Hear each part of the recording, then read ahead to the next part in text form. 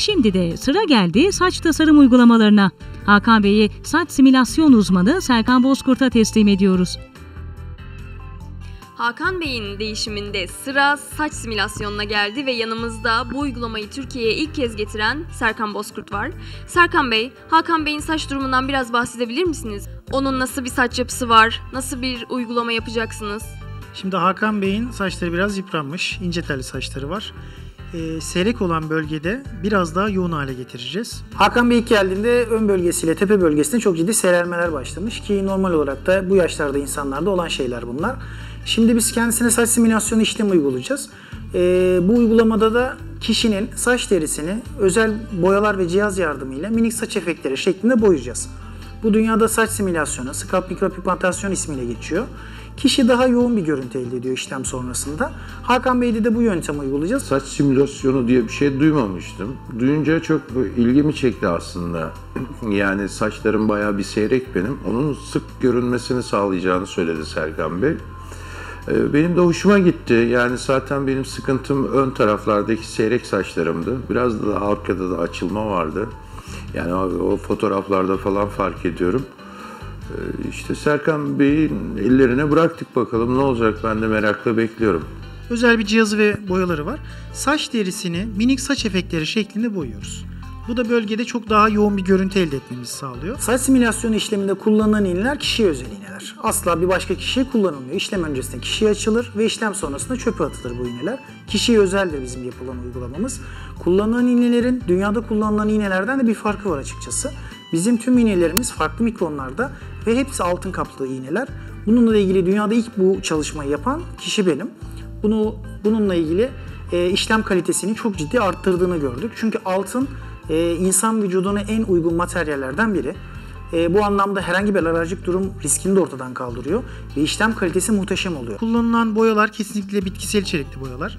E, kişinin kafa derisine hiçbir şekilde alerjik durumu olmayan boyalar ki bunlar zaten belli testlerden geçmiş ürünler.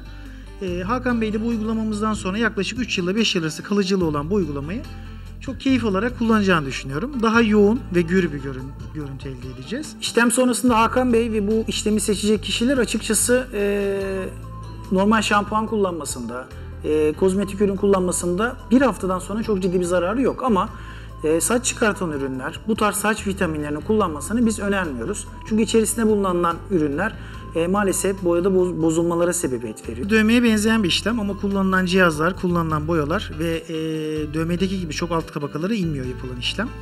E, bu yüzden de dövmeden ayrılan en büyük farkı geçici olması. Dövme tarzı işlemler biliyorsunuz ömür boyu vücutta kalan işlemler. Ee, ve açıkçası vücudu terk etmiyor. Saç simülasyonunu kimler daha çok tercih ediyor? Açıkçası bu yöntemi daha önce saç ektirmiş ve görüntüden çok memnun olmayan kişiler tercih ediyor. Daha yoğun bir görüntü elde etmek için. Ve eski yöntem foot yöntemi dediğimiz yöntemde maalesef arka bölümdeki iz kişiyi çok ciddi rahatsız ediyor. Bunu düzeltmek için eee, bize başvuruyorlar ve çok açıkçası çok başarılı sonuçlarımız var. Bunun yanı sıra belli sebeplerden dolayı saçı dökülmüş kişiler çok tercih ediyor. Eee Son zamanlarda bayanlarda da özellikle seyrek görüntüden kurtulmak için e, kozmetik anlamdaki ürünler yeterli bu- bulmadıkları için saç simülasyonunu bir erkekler kadar olmasa da tercih etmeye başladılar. Hakan Bey'i de ben iki işlemle bitirmeyi düşünüyorum. E, onun da nedeni şu, çok doğal bir görüntü yakalamak istiyoruz. O yüzden ilk etapta çok fazla yoğunlaştırmayacağım işlemi. Hakan Bey onay verirse ki güzel olacağını düşünüyorum. ikinci işleme gerek duyacağım. E, bu işlemde biraz daha yoğun bir görüntü elde edeceğiz ama burada önemli olan müşterimizle beraber adım atmak. Çünkü Hakan Bey bu konuda tedirginlikleri oldu. E, açıkçası çok böyle boya gibi de kapkara olsun da istemiyor. Bununla da ilgili zaten adım adım gittiğimiz zaman zaten kendisi sonuçtan çok memnun olacağını düşünüyorum. Buradan uygulama yaptıracak kişilere önerim şu.